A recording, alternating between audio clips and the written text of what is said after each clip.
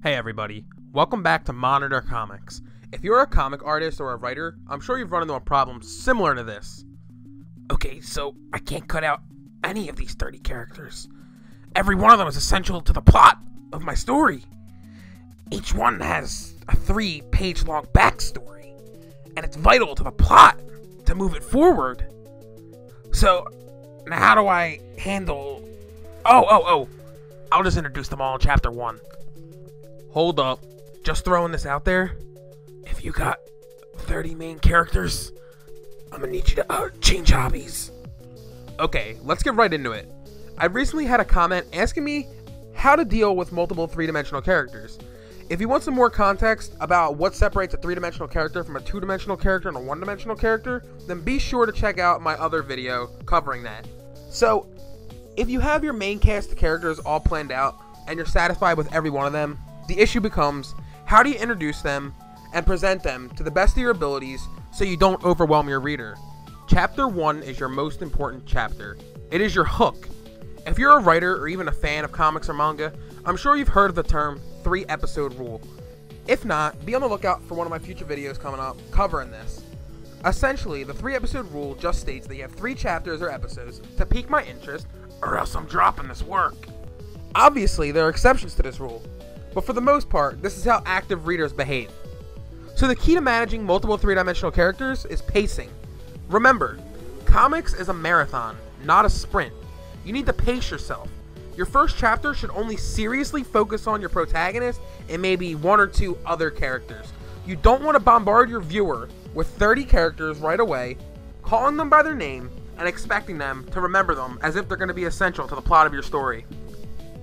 That's right, the Society. I'm talking about you. Have any of you seen the Society on Netflix? How the hell did you expect me to remember every single character's name in the first episode? You threw like 40 kids at us, naming them all by name. And none of the actors have been on any other movies except like the one girl. So I couldn't even remember their actor names. Why would why would you do that? Take your time with your work and introduce each character gradually. If you focus on the protagonist in chapter 1, then introducing one more character in chapter 2 and maybe another one in like chapter 3 or 4, then there's no rush and you're able to tell your story in a convenient and straightforward way. Tell your story over time.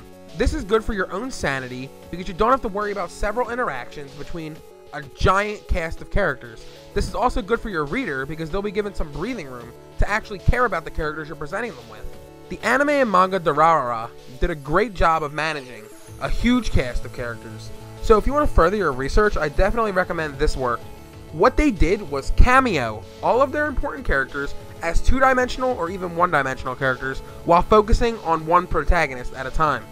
That way, we're given an idea of who our character is as the protagonist in this episode, but we can also see future protagonists as side characters and background characters.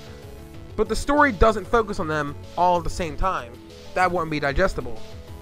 So after several episodes, there was a perspective shift where the protagonist role switches to one of those side characters we saw earlier, making them the protagonist now. Our former main character is demoted to a one-dimensional or a two-dimensional character. This was a genius move because we know the backstory of each protagonist, even if the spotlight isn't shining on them at every moment.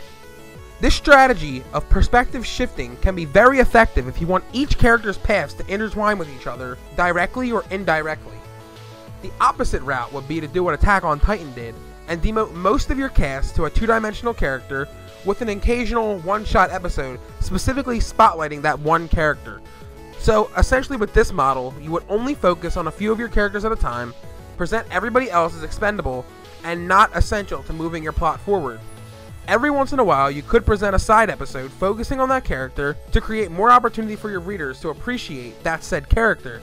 But like I said before, the key to managing a huge cast of characters is pacing. Introduce each character gradually, and reveal information about each character over the course of your story, not right away. Another strategy for effective managing of multiple characters after they've all been introduced is what's called the separation strategy. Basically, Split your entire cast off into distinctive groups and use the Meanwhile on the Ranch transition to focus in and progress each story separately. If you've never heard this term, meanwhile on the ranch, it essentially means one character is doing his own thing. Say he's on a basketball court playing a game.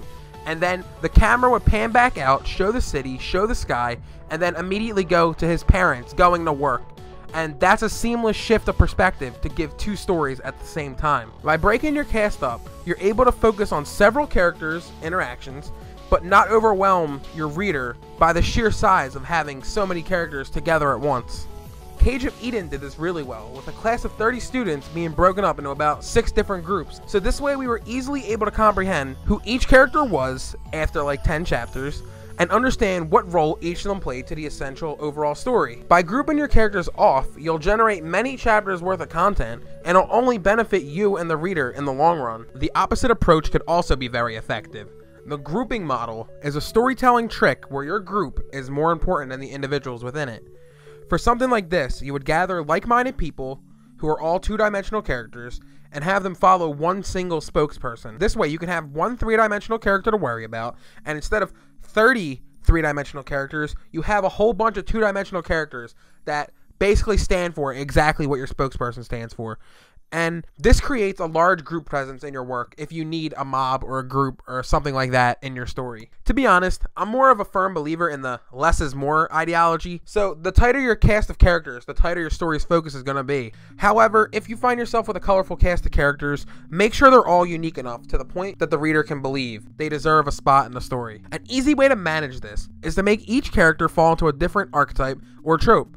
If you don't know the basic archetypes, keep a lookout for one of my future videos where I'll go over all of these. Having recognizable roles for each of your characters will give them a sense of purpose and will defer the reader from deeming them as a waste of space. I hope some of these tips helped you out, and now you're able to conveniently explore your large cast of characters. If you have any follow-up questions, be sure to leave them down below. Be sure to check out the rest of my videos where I go over paneling, effects, how to make good characters, and how to pitch your story to a publisher. And as always, you can find the links to my social media accounts down below. I want to thank you so much for checking out this video, and I'll see you guys in the next one.